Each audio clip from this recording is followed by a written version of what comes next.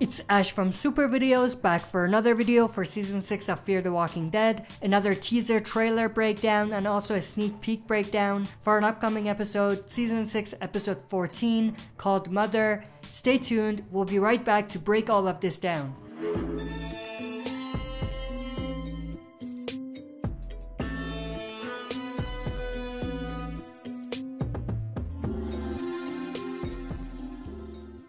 Alright, as always, if you're not a subscriber and enjoy the content by the end, consider subscribing to join our community, share and smash the like button and press the bell to be notified when we upload. With that out of the way, let's dive right into it. So first we're to take a look at the teaser. Starts with this pretty interesting shot of Teddy.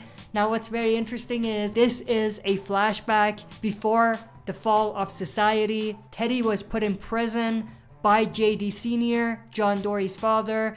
We don't know necessarily how long he's been a prisoner at this point when we see this flashback, but this is definitely before the fall of society and after he was imprisoned and put in a penitentiary. The next shot we actually have is news on the TV that's talking about sick people no longer seeking medical care because of the virus, obviously referring to the zombie virus, not COVID. But there's also an opening minutes that was released which this is from. So we'll dive a little deeper into that when we talk about the opening minutes. The next shot we have is actually this interesting shot of none other than Dakota walking out of a bus. Now what looks like is happening here is that the end is the beginning group has relocated. It looks like they've just found a different place to stay at. The holding, which they called their previous community, was burnt down to the ground by Alicia. So they had to find a new place and I'm assuming that this is their new place. Now, I don't necessarily know if there's going to be another bunker or underground tunnel in their new community or whether they're just temporarily staying above ground for now. What is interesting is Dakota is there. So what I think happened is she snuck in as one of the end is the beginning survivors in order to get to their new community. Now what's interesting is Alicia is actually there as well, so is Teddy. Alicia calls out Dakota's name and then we have Dakota pretty surprised to see Alicia here. I'm assuming that they probably don't know at this point whether Alicia is alive or not. She disappeared right after the holding was burned to the ground. So I'm assuming that this is the first time Dakota finds out that Alicia is actually alive. And then we have this awesome shot of Teddy also being surprised that Alicia knows Dakota. And then we have Dakota calling out Alicia's name. And then she looks down as if she's ashamed, something along those lines. And then Teddy says, Have you come to us alone? Obviously, we know she has. And then we have this shot of Teddy and Dakota. Now, what's interesting is that it looks like Teddy is reaching out for Dakota. He did a similar thing to Alicia as well. So I'm assuming what this is all about is Teddy is trying to get Dakota on board and he's trying to brainwash her and to make her a follower. As far as I'm concerned, Teddy can have Dakota. We don't want her. The next shot we have is Dakota talking to Alicia. Now, I'm assuming this is around the same time when Dakota and Alicia see each other, but Teddy's probably not around. Dakota says we can kill him, referring to Teddy. I'm assuming that's the reason why she snuck in with the other end is the beginning survivors so she could get at Teddy to try to redeem herself. And then we have Alicia responding with, There's no we here. And I absolutely 100% stand with Alicia on that. Dakota is not one of the survivors, and as far as I'm concerned, she never will be. We have Charlie, that's enough. Then we have this shot of a truck in the middle of what I'm assuming is a crash scene. We have this pretty awesome shot of Alicia, Dakota, and Teddy inside the truck. And then we have this pretty interesting shot of what looks like a body falling out of the truck. Then we have Teddy actually calling out for her mother as soon as the body drops. So I'm assuming that the body is Teddy's mother. I could be wrong, but I'm thinking that's where they're going with it, which definitely would connect to the title of the episode, which is Mother. I actually cracked up as soon as this came up because of the way Teddy said Mother, but that's beside the point. The next shot we have is Teddy jumping out of the truck and approaching the body so we can see Dakota and Alicia in the background.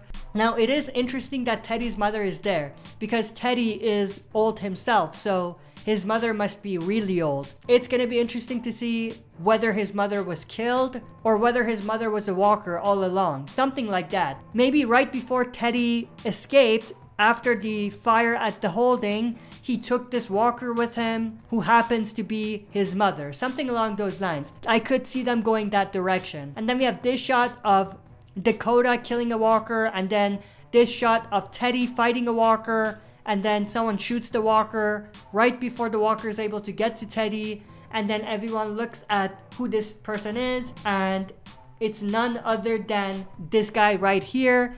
Now for those of you that don't know, this is actually Cole. Cole is one of the survivors of the stadium community that Alicia and the others were a part of right before the place burned down and right before Madison disappeared.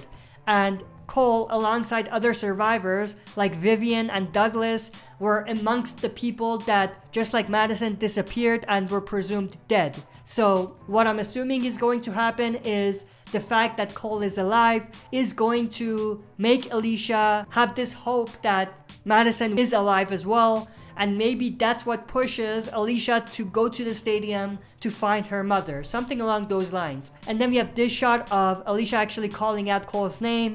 So this is the reveal that that was in fact Cole. Now, one other thing I did want to mention, if we take a look at this shot, which was in the main teaser that they released, we had a lot of discussions about the person that we see on the left hand side and the possibility that it could be Madison because of the way that they're dressed. Now, obviously, at this point, we can say with 100% certainty that that is, in fact, not Madison and it's actually Dakota because Dakota is dressed in the exact same outfit as well. So, this theory is debunked. This is not Madison on the left hand side, it's probably Dakota. And that's pretty much the end of this teaser. Now we're gonna jump into the sneak peeks. The first sneak peek is actually the opening minute sneak peek. So we have Teddy writing something on a piece of paper.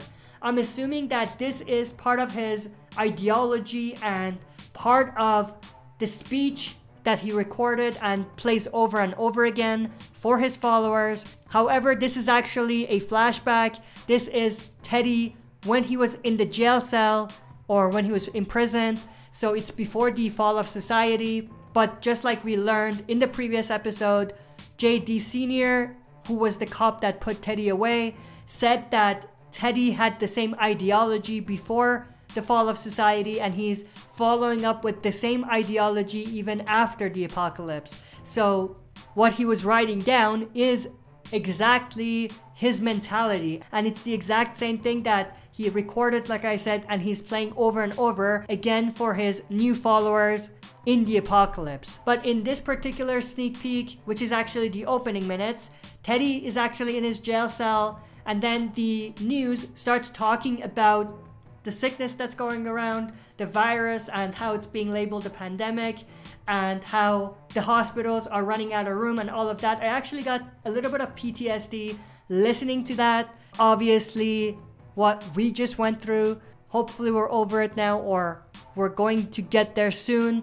But I just had flashbacks of that and deja vu of what we just went through, so I had a little bit of PTSD watching this sneak peek. I'm not sure if that was intentional on their part or not. I think this was filmed before the pandemic, if I remember right, but it's just funny how things align. But Teddy goes to the TV, turns up the volume, and listens to what the news reporter is talking about. And then on the wall, we actually have a lot of newspaper articles related to the Theodore Maddox case, which is obviously the case about Teddy, the mortician serial killer murder case. So we see a bunch of different news articles taped to the wall. I'm assuming that Teddy is keeping these as like trophies or something along those lines. Then Teddy hears like a bunch of screams, but he ignores it. And then we have these officers and detectives bringing this particular detainee. And then as the detainee is passing, Teddy tells him, Remember, the end is the beginning. So I'm assuming that the guy we just saw was one of his followers. And then he says, You're about to be given a new life. So, pretty much the same mumbo jumbo that he keeps telling his followers, which has similar wording to what he's saying in the recordings that he plays for his followers over and over again. And then following that scene, we actually have Teddy hearing another scream. And then this time when he looks, there's an emergency alarm that has gone off. And then we see that the prisoners have turned into walkers. And then we have the other prisoners being attacked. Teddy's also attacked, but he manages to stab the walker in the head with one of the weapons that he had hidden away. So he's able to escape, obviously, but he actually watches someone get ripped open as he's escaping. So obviously this is the opening minutes and I'm assuming that this is gonna lead into the title card and I'm assuming the title card is actually gonna have Teddy at the forefront because obviously each title card in season 6 specifically has a character at the forefront. For this particular episode, I'm assuming it's either gonna be Alicia or Teddy himself. They did release another sneak peek as well, which was a little bit shorter. In this sneak peek, we actually have Teddy talking over the speakers, the same exact speech that he gives his followers, which he plays over and over again. And it's actually Alicia who's there listening to this mumbo jumbo. I'm assuming that she's forced into listening to this over and over again. Riley walks in, asks her if she's ready to accept her new fate or something along those lines and that's pretty much it. And then we have the next shot, which is Alicia still listening to the same stuff on the speakers, but it's morning now, so days and nights have gone. Alicia is still in that room and she's forced to listen to Teddy. I'm assuming that they're trying to brainwash her, so it's gonna be interesting to see whether they're successful in doing so. But that's pretty much it. That's all of the sneak peeks that they released and also the teaser that they released for this upcoming episode. I hope you enjoyed this video. If you did, make sure to share and smash the like button. If you're not a subscriber, subscribe to join our community and press the bell to be notified when we upload. That's it for this video. See you next time for another super video.